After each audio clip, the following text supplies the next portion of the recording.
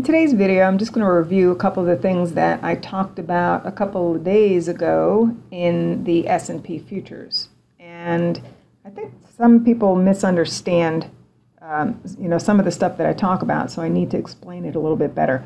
Now, one of the things that I did say was that if we took out the resistance here, that we should ultimately look for higher prices eventually. Now, does that mean that you're supposed to buy new highs and hope that it continues higher? Hell no. What you want to do, if you don't want to risk a ridiculous amount of money, is you wait for a pullback where the risk is clearly defined. And one of those pullbacks, believe it or not, I put out at 2:30 in the morning after I flew through a thunderstorm to get to Atlanta, then didn't have my uh, rental car available, then couldn't even get an Uber that could figure out where the hell to pick us up in the airport and all that good stuff. But there was a decision, okay? And if you would have logged in last night, you would have found it. It was basically the 618 retracement of the prior low to high swing. this is the daily S&P uh, June contract. And then the 100% projection of this prior decline. And it looks slightly different on the other chart, but guess what? Here, your risk is clearly defined, okay? If you looked at the support and you saw buy signals against it, at that point, your risk was right underneath here.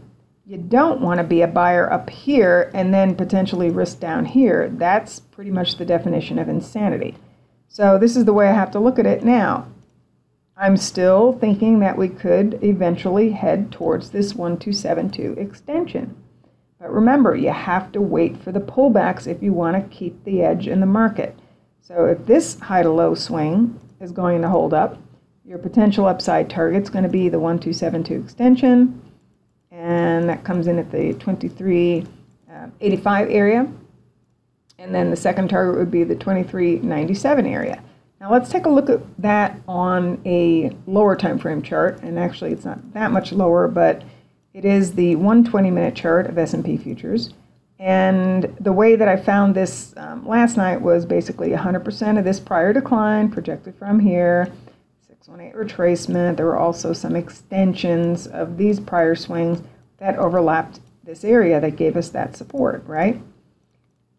So again, typical target is going to be the 1272 extension. But in this process, you also want to show or identify what's in the way of a continued rally. And in this case, there's a 618 retracement of the prior high to low that also overlaps 100% of this prior swing. Okay, so this is what we need to see. If this last low is truly any good, and if it's going to extend to the upside towards at least this minimum target, we need to clear this 2161 area by a decent margin. If we do, the odds increase for a continued rally towards that target.